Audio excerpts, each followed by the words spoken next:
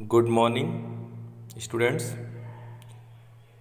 आज हम design of steel के बारे में स्टडी करने चल रहे हैं, जो कि ये आपका थर्ड क्लास है। इसके पहले दो क्लास आपको पढ़ा दिया गया है। तो जो हमारा आज का टॉपिक है वो है riveted joint. Riveted joint.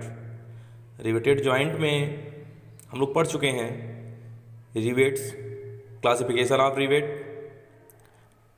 Types of joints connection definition तो आज का जो हमारा टॉपिक है, वो है जोड़ों की विफलता failures of joint failure of joint कि मतलब हमारे जो रिवेट्स होते हैं, कितने प्रकार से वो फेल कर सकते हैं? कितने प्रकार से वो फेल कर सकते हैं? तो इसमें हमारा फेल जो करता है, वो तीन प्रकार से फेल हो सकता है। या तो तनन विफलता हो सकती है दूसरा अपरूपण विफलता, तीसरा आपका धारण विफलता।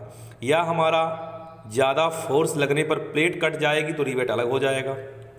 या प्लेट के साथ रिवेट एक तरफ़, आधा कट के एक तरफ़ हो जाता है, आधा एक तरफ़ हो जाएगा, वो हमारा हो सीयर बियरिंग, जब उस पर काफ़ी अधिक लोड दे दिया जाएगा तो क्या होता है? वो टेढ़ा होकर के रिवेट हमारा निकल जाता है। तो इस प्रकार से हमारा तीन फेलियर होता है। तो तीनों के बारे में हम अलग अलग स्टडी करेंगे, क्योंकि इस पर फेलियर ऑफ़ ज्वाइंट पर आपका न्यूमेरिकल वेरी इंपॉर्टेंट है, जो कि आपके पेपर में आता है। तो हम लोग तीनों के बारे में बारी बारी से स्टडी करेंगे। पहला हम चलते देखते हैं आपका टेंशन फेलियर क्या है? तनन विफलता। जब तनन प्रतिबल का मान बढ़ाने पर प्लेट एक निश्चित सीमा तक सहन कर सकती है, तदुपरांत प्लेट फट जाती है। जैसे आपका यहाँ पे था। तो इसमें जब आप ज़्यादा लगाते तो हमारा प्लेट फट गया तो रिवेट हमारा निकल गया तो इसका जो आपका पिच ये पी हमारा इसका है पिच तो हम देखते हैं कि अब इस पर कितना हमारा सामर्थ्य लग रहा है तो पीटी मतलब तनन सामर्थ्य क्या है? तो आपको पहले बता दिया गया है कि स्ट्रेस बराबर होता है फोर्स अपान एरिया स्ट्रेस बराबर होता है फोर्स अपान एरिया अगर मुझे फोर्स निकालना है तो क्या हो जाएगा? Stress into area stress into area तो देखते हैं पीटी बराबर क्या होता है? प्लेट का बीसी काट पर क्षेत्रफल गुड़े तनन प्रतिबल। तो इसमें से क्या होगा? P माइनस आधा डी इधर हो जाएगा, आधा डी इधर। तो P माइनस डी ये पूरा P है तो P माइनस डी कर देंगे इंटू उस प्लेट की मोटाई से मल्टीप्लाई कर देंगे हमारा करेंगे area P minus D into T P minus D into T equal F T हमारा ये निकल गया टेंशन फेल्योर अगला आता हमारा सीयर फेल्योर कि जोड़ पर आ रहे बल की, जोड़ पर आ रहे बल की रिवेट काटने की प्रवृत्ति होती है। जोड़ पर आ रहे बल की रिवेट काटने की प्रवृत्ति होती है। इससे हम क्या बोलते हैं? सीयर फेल्योर बोलते हैं। क्या बोलेंगे इसको? सीयर फेल्योर बोलते हैं। तो इसमें कह रहे हैं कि रिवेट कट जाएगा तथा प्लेट अलग हो जाती है। इस प्रकार की विफलता, अपरूपण विफलता कहलाती है। जिससे इसमें देखिए, यहाँ आपको डायग्राम बताया गया है कि आधा रिवेट इधर कट गया है और आधा रिवेट आपका कट के इधर हो गया है। तो इस प्रकार से हमारा जो निकालते हैं पी बराबर जो निकलता है मतलब अपरूपण सामर्थ्य तो रिवेट का क्षेत्रफल गुड़े अपरूपण प्रतिबल। तो रिवेट क्षेत्रफल जो आपको निकलेगा pi by four D square into F S F S आपका अपरूपण प्रतिबल है। इस प्रकार से आपका अपरूपण सामर्थ्य निकल गया। थर्ड में हमारा आता है बियरिंग फेलियर जिसमें आपका लोड ज़्यादा पड़ने पर हमारा रिवेट क्या होता है?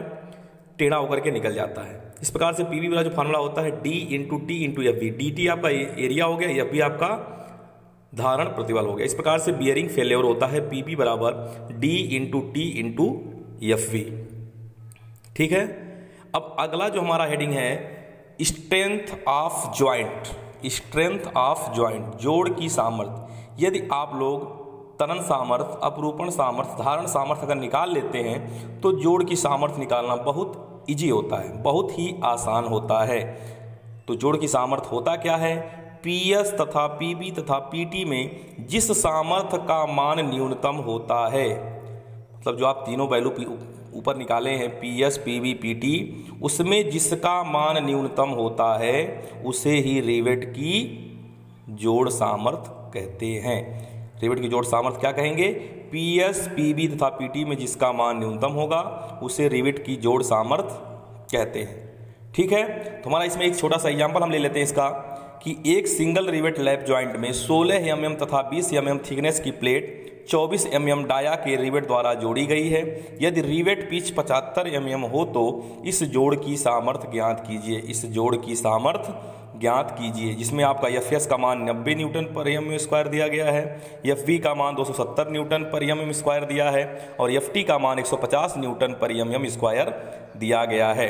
अब सॉल्व सॉल्व करते हैं हम लोग। तो गिवन में क्या दिया है? पी का मान पचहत्तर एम एम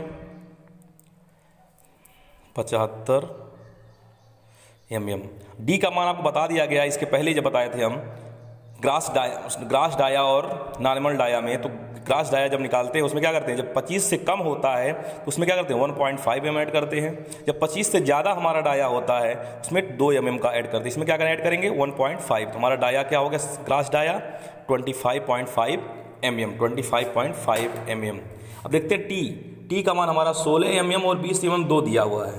तो उसमें जिस प्लेट की मोटाई, जिस प्लेट की मोटाई पतली होती है, उसे ही हम टी के रूप में कैलकुलेट करते हैं, क्योंकि हमारे ये आई कोड ने निर्धारित किया है। तो टी का मान हमारा हो गया सोलह एम अब यहाँ से हम निकालते हैं टेंसाइल स्ट्रेंथ क्या निकालेंगे? टेंसाइल स्ट्रेंथ टेंसाइल स्ट्रेंथ क्या होता है? आपको बताया गया पहले फार्मूला पी टी बराबर होता है P minus D into T into F T तो पी का मान डी का मान टी सबका मान रख देंगे, हमारा हल होकर आ जाएगा एक सौ अट्ठारह दशमलव आठ किलो न्यूटन। ये आपको सॉल्व करने के बाद आएगा, ये आपको करना पड़ेगा।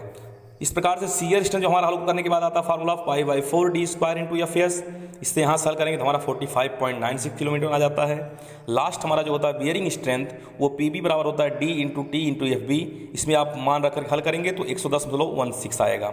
इस प्रकार से हमारा जोड़ी सामर्थ्य आपको बताया गया है कि पी एस पी बी तथा पी टी में जिसका मान न्यूनतम होगा। पी एस पी बी तथा पी टी में जिसका मान न्यूनतम होगा, उसे क्या कहते हैं? जोड़ की हम सामर्थ्य कहते हैं। तो स्ट्रेंथ ऑफ़ ज्वाइंट हमारा हो गया तीनों में क्या कम है? 45.96 का मान हमारा सबसे जब कम है, ये हमारा स्ट्रेंथ ऑफ़ ज्वाइंट ये हमारा आंसर हो गया। इस प्रकार से आपको इस पर जो भी न्यूमेरिकल होंगे आपको लगाना है। बस आज के लिए आपका इतना ही रहेगा। Okay, thank you class.